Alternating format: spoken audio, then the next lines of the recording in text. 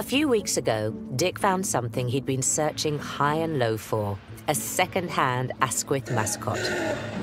Wow.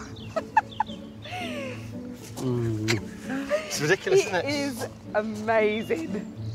Now, Dick and Angel have ambitious plans to completely transform the 1980s bus into a fully equipped camper van. Right, so the door's open. Hurrah! The first thing to go are its back seats. Once the bottoms of the seats have been unscrewed, they should just lift out. Now let's see if we can undo it. Here we go. Oh, yeah! Yeah! More space. That means we can do this flip. yeah, it probably could. Now all the seats have been ripped out, Dick and Angel can properly assess what's what. Babes, What? it's tiny. And as far as Angel's concerned, size does matter. Not tiny. It is tiny. It's not big. Spacious. like Bijou's that the phrase. It's quite small. It's plenty big enough. Okay, come on. We need we need to have an extension.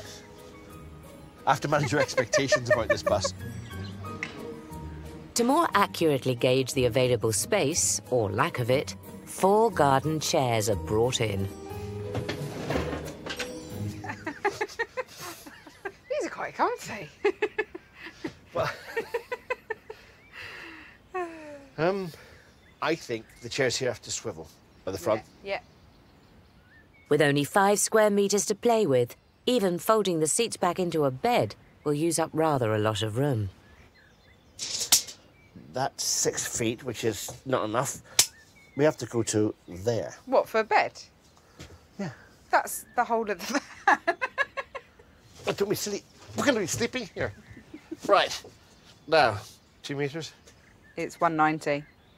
That, that's really this much above my head, isn't it? Yeah. Even though the bed may be a little on the cosy side, Dick also wants to add a kitchen that he can use both inside and out. I don't want to cook inside there. Where are you going to cook then?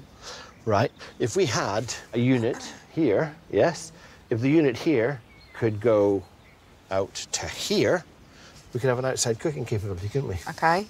Um, and then if it was raining, I guess we we just cook inside.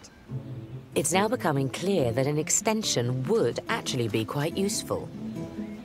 How big an awning do we need? Check it out. Now, look.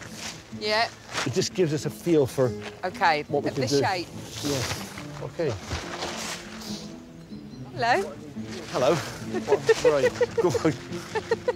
If we said we wanted it about there, Yeah.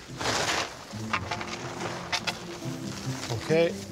That's nice. Yeah. Yeah. Will look much more attractive when I've got a nice fabric. So when we when we stop, okay, quickly, get out the shade. Good up there, pegs out there, posts up there, pegs out there. Yeah, military, good military, military, uh, military stuff. Yeah. Brilliant. I love it. Up in her workroom, Angel's pondering how to turn an offbeat bus into a homely camper van. And we've worked so hard this last four years that this bus is like, it's like a big fat treat for the whole family. I'm going with a green theme. It's going to be quite light. Some of it's going to be quite mint green because I don't want to darken or make the space, the small space, feel much smaller. Every centimetre counts in that bus. But for Angel, the camper van's much more than just a travelling tent. When Dick and I first started dating, I remember going over to Northern Ireland to, to visit the Strawbridges and, um, and Jenny, Dick's mum. She just got so many stories about their adventures in their, in their car and with all the children and the dog and their, and I just love it. I mean, the kids are not going to know about driving Miss Daisy, but we do. And it just has that feel. So we're going to call it Mademoiselle Daisy. Therefore, we have to have a daisy in it. I mean, it kind of makes sense, doesn't it? And I want it to be I want it to be quite simple. It's not going to be too fussy. It's not going to be too sort of pretty. I'm going to definitely do some lovely wallpaper. And it's going to be golden, like like the scent of the daisy. Even though Dick and Angel can make a lot of the camper van's new furnishings themselves, others they have to buy. Guess what's in here? Chad. You're such smarty pants. right, missus, come on. Whoa, look at this little. But it's like only just gets rid of this. Every shipment's like a Christmas present. Oh, what is it? What is it? I reckon you can probably pull this back, kids. Oh, I can see This is. Hmm. Yeah. It's pretty ugly. Come on, don't come. These are an ugly set of chairs that's going to go in our van. The new seats may not be the prettiest, but they are quite talented in their own little way. Does this one swivel Yeah. and go down? Great. So no, this is this is the beast. Oh, kids, this is your bed. No, it's not. It's our bed. Oh, it's our bed. There you go. There you go. The whole wall done. When we're driving in the car, mummy and daddy in front, and then when you stop, the chair swivels round. So at night time, it goes down into a bed.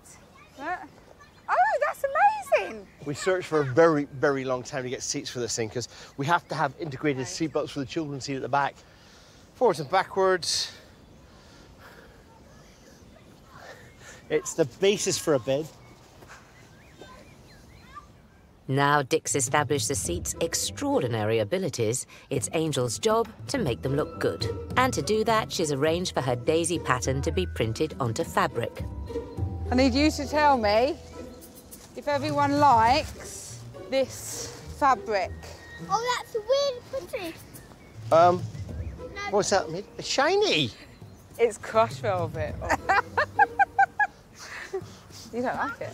Um, oh, the sun's come out. I can't see. I'm going blind. I'm dazzled. Uh, oh, it's lovely.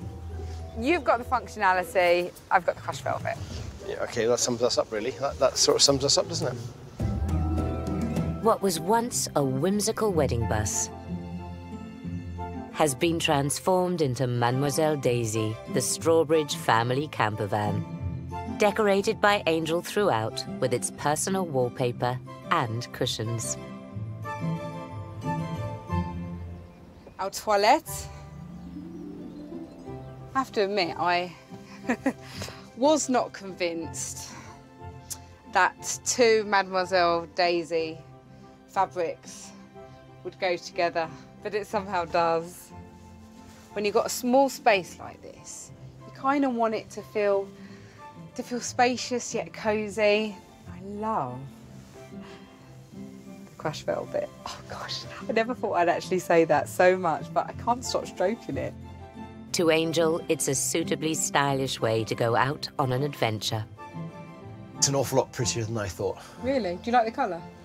I do. You're sort of thinking plain colours, but Mademoiselle Daisy couldn't be too plain. Let's get ready for our expedition. Well done. Well done. Before they head off, though, Dick's keen to show Angel his origami style kitchen and sink unit. Unclip the back for me. Okay. Now we do this, we push it back in, it comes around the corner like this, comes out. Then we swing out around the corner, put it into position like that. We have to do a little bit of cooking, we do it up there like that one or that one. Oh, amazing. Plus this Oh, look at that. Oh, it's another burner and sink. and a sink. I just think it's amazing. Well, this looks quite special. We're here! As it's the family's first overnight camping trip, Dick and Angel have decided to keep things close to home. Under your seatbelts!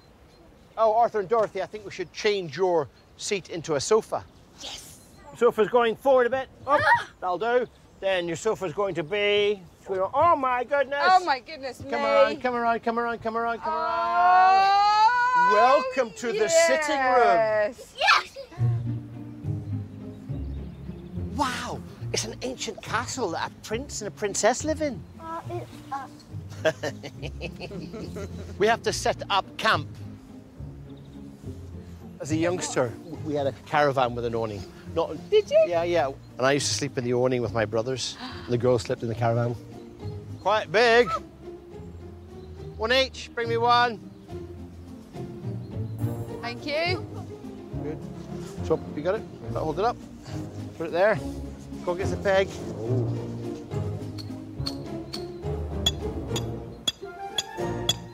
Where are you going to make your fire? Now the awning's up and the sun's gone down. It's dinner time and a chance for Dick to road test his clever kitchen. Lovely. We can cook.